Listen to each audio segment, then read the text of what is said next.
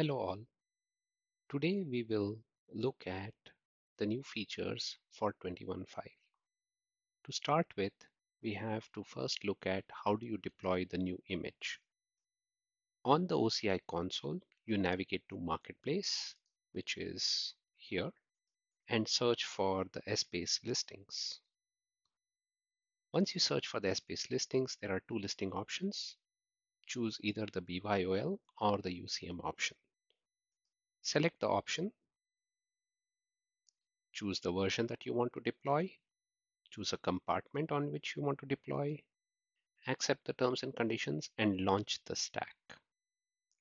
Once you launch the stack, you would land on a page like this. So here you would provide the details for the name for your stack and a optional description. Click Next. You would give a unique identifier for all the resources that are deployed for the stack. Choose this option, Upgrade Stack, if you want to upgrade your existing stack, which is a supported stack version, to this new stack version. I'm not going to do that now. This option would be grayed out in the case this is the image that will be deployed.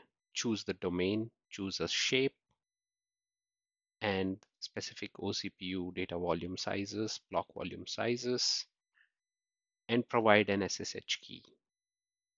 Once you provide that information, you need to then provide the Essbase admin username and the password.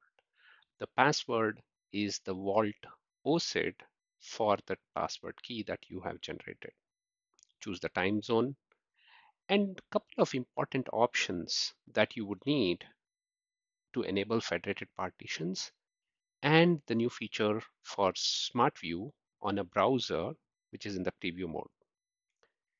If you want to leverage Essbase to load data into ADW using the standard Essbase processes, you need to choose the catalog storage type as the object storage bucket.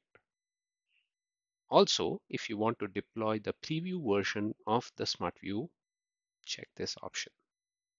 This enables a SmartView server internally on the server that allows you to connect to Essbase from a browser. Choose the identity configuration. These are all standard. I'm choosing the node to be publicly visible. These are some advanced networking options. The other option that you would need to enable for federated partitions to work is you need to deploy your repository schema or the database configuration option to an autonomous data warehouse. In this example, you can choose to either deploy an existing autonomous database to which this Essbase instance can connect to, or you can choose to deploy a new ADW instance. In order to get to that, you click on Show Advanced Database Options and choose Autonomous Data Warehouse. If you do not choose this option, by default, we deploy Autonomous Transaction Processing. So if you want to leverage federated partition, this is an important deployment step. You can choose to provision a load balancer if you choose to keep your Essbase in a private node. I'm not going to choose that. Click on next. Review your selections and once you're satisfied, you may choose to run apply and create the stack.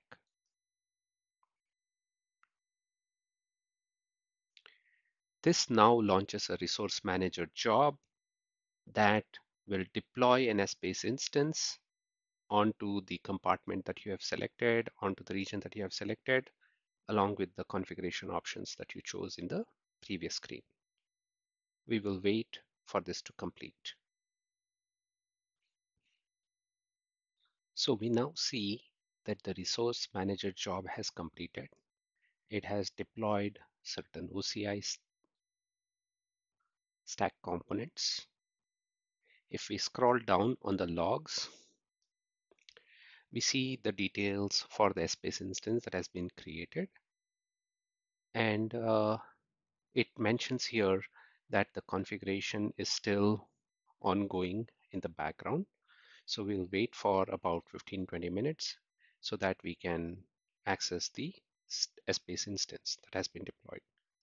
In order to get the details, you can click on application information section and you'll get all the details. The URL for your Essbase instance, the RCU schema prefix, the different storage buckets that have been deployed. And this is the bucket that we chose to deploy the catalog on. So it creates a catalog bucket. So this way we get all the details of the stack that has been deployed. In the next video, we will look at the Essbase URL and proceed further.